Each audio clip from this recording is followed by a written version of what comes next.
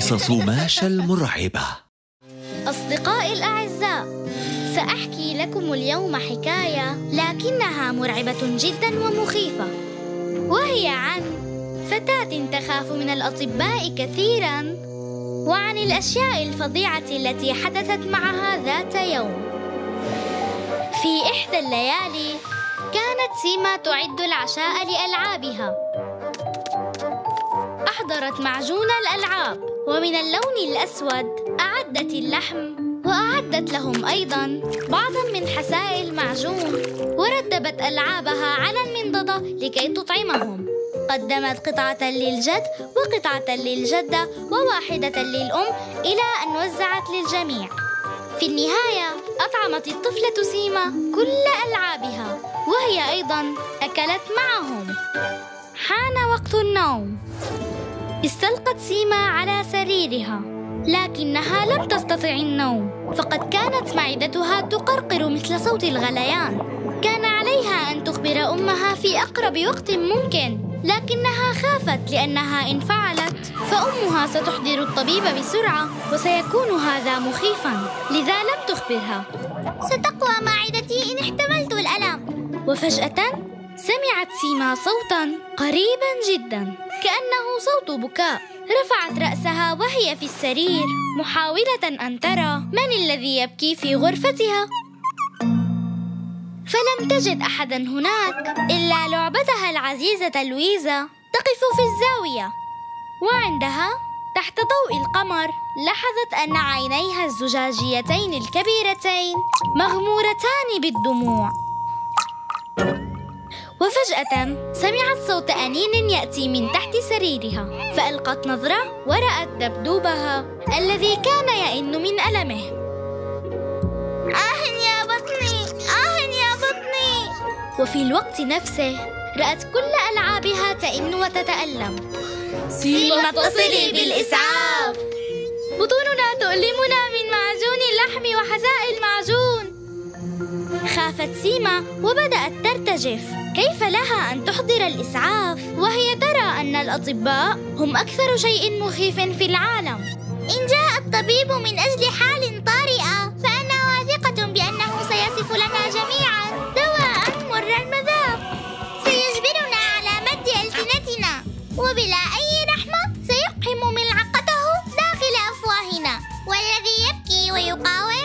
سيمسك به الطبيب ويمضي به إلى المستشفى. ولكن الألعاب لم تكترث لمن سيأتي أو إلى أين ستذهب. آه يا بطني. آه بطني تؤلمني كثيرا. بكت الألعاب بلا توقف. وازداد ألم بطن سيما ازديادا بدأت معه بالهذيان فرأت أشرطة وردية وزرقاء وبعض النقاط البرتقالية وغيوما خضراء. وأيضا رأت تنانين وردية تأكل كعكا وهي تطير حول الغيوم الخضراء. صارت تقول سيما في نفسها انظروا إلى كل ذلك الكعك الذي أكلته التنانين. وبعدها فقدت الوعي. وبعد مرور بعض من الوقت استعادت سيما وعيها.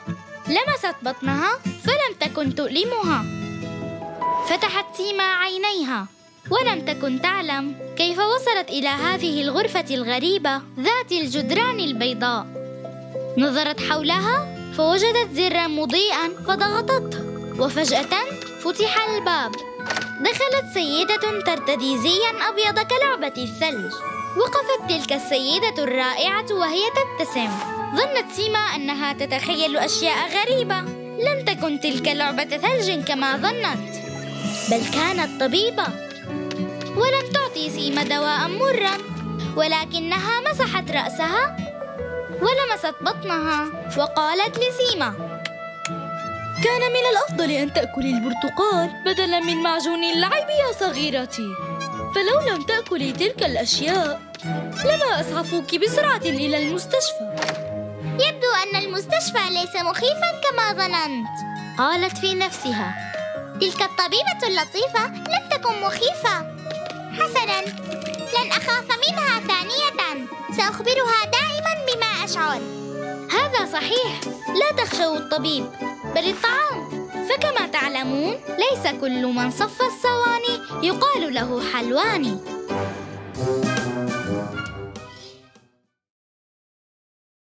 الكبار أحيانا يشعرون بالخوف. أجل إنهم يخافون مثلكم. كانت هناك جدة لطيفة تخاف الا يحب حفيدها طبخها. كانت تعد وجبات جديدة لتجعله يحب طبخها. ومهما فعلت فإنه دائما يكره الطعام الذي تعده. أهذه فطيرة؟ لا لا لا لا لا. أعدت له شيئا آخر وقدمت البندورة لكنه رفض وصرخ عاليا. لا أريد أكل البندورة فأنا لا أحبها. أريدها مغطاة بالشوكولا. وبعدها رمى البندورة على الحائط.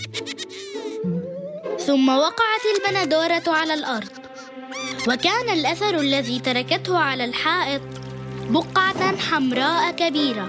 وبقي الفتى يرفض كل الطعام الذي تقدمه إليه جدته. ومرة نظر حوله فلم يجد جدته. وفي لحظات تحولت حياته إلى كابوس مخيف جدا. شعر بخوف شديد. لم يعتد البقاء وحده في البيت. وأخذ ينادي جدته. جدتي أرجوك عودي أنا أرتجف من الخوف.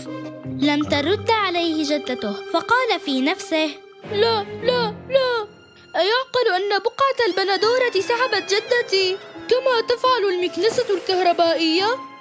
هذا ما ظنه الفتى المسكين. كان البيت هادئا. الثلاجة وحدها كانت تصدر أصواتا غريبة وكأنها أصوات معدة تحاول هضم الطعام الذي في داخلها. كانت الستائر مسدولة تمنع الضوء من الدخول وفي ذلك الظلام لم ير سوى بقعة البندورة التي تقطر على الأرض. قرر أن يمسح تلك البقعة الحمراء المرعبة. ولكن حدث شيء مخيف للصنبور إذ صار يهتز ويرجف وينفث وينفخ.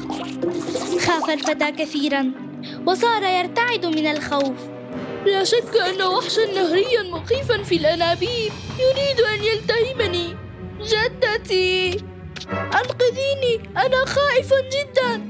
ولكنها لم ترد عليه. مسكين. كانت الريح تعصف في الخارج فأغلقت النافذة بقوة حتى كادت تكسر الزجاج. ما هذه الريح القوية والأصوات المخيفة؟ لعل هناك وحشا طائنا يصطاد في الخارج ويحرك هذه الرياح. وبعد ذلك صار الجو يبرق بشدة والرعد يدوي. يبدو أنها كانت عاصفة قوية. في تلك اللحظة سمع صوت جرس الباب يرن. تجمد الفتى من الخوف. لا شك أن الوحش وصل. لا لن أفتح الباب. وعندها سمع صوت مفتاح يحاول فتح القفل. لا سبب يدعو إلى الخوف. فأنا فتى كبير. أمسك بالمكنسة واستعد لكي يدافع عن نفسه. طقطق القفل. وفتح الباب. من الذي أتى؟ إنها جدته. مرحبا يا عزيزي. أحضرتم بقرقشات لذيذة لحفيدي المفضل. هيا تعال. ألا تريد أن تأكل؟ أفرغت الجدة محتوى الكيس كعكات وبعض الفراولة والموز والمثلجات اللذيذة. إنها أحضرت له بندورة مغطاة بالشوكولا. قلقت عليك كثيرا لأنني تركتك وحيدا ولكنك لم تخف من البرق والرعد. أجل يا جدتي ولماذا أخاف وأنا كبير؟ وذهب الفتى لينظف المكان الذي رمى إليه البندورة. قررت أن أساعدك على التنظيف يا جدة ولن يخيفني شيء فقد صرت كبيرا. ولئلا تختفي جدته ثانية. مسح البقعة الحمراء من على الحائط. للكبار واجبات كثيرة داخل المنزل وخارجه. إن بقيتم وحدكم فلا تتذمروا بل ابدأوا بالعمل لكي تبعدوا الخوف عنكم. أمسكوا بالمكنسة ونظفوا غرفكم. والأهم ألا ترموا الطعام فهو نعمة من الله. عجبا عجبا. وأين ذهبت الرسوم المتحركة؟ فلنبدأ التحقيق الآن. واحد اثنين ثلاثة أربعة. رسوم متحركة. سأضغط على الميكروفون. سأقول ماشى والدب الأمر بسيط جدا. والآن حاول فعلها.